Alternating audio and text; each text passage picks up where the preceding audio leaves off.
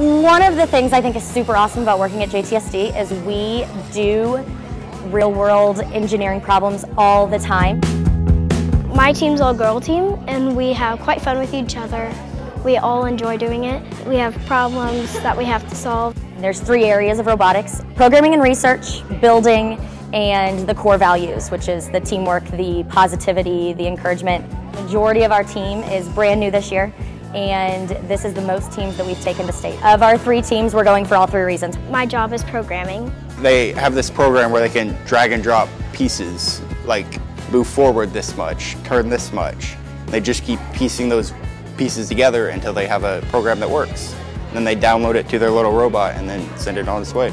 We have a subject like ours is plants being grown in space and they've successfully done some plants and I added something that goes onto the bot and it sticks out so whenever it goes forward and it hits it and then it just backs up back into home base. We practice twice a week, Tuesdays and Thursdays here at JTSD. You come up with a problem like in space there's not enough oxygen to go for long distances and you come up with a solution and you detail in, intel into the problem and into the solution. Put that on a board and you put that in a project you submit that to the competition. Kids as young as fourth grade, I think, is when you can start are in here, and they're doing just as well as we are with building and researching and everything else. We started off with like one team, and then we slowly grew throughout the years, and each year we progressively get better and send more people to state.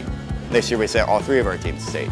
All three teams scored points, all three teams did very, very well. We didn't move on, but just having all three teams move on to state was a really big accomplishment. They learned so much. Um, teamwork is huge because you have teams of six to eight kids trying to work together.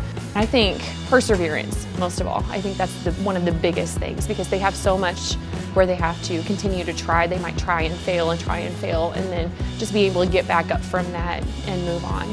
They were disappointed, they were disappointed, but I think that they were all pretty excited and proud just because they got to be there. They're all aiming for Worlds next year. It's gonna be exciting.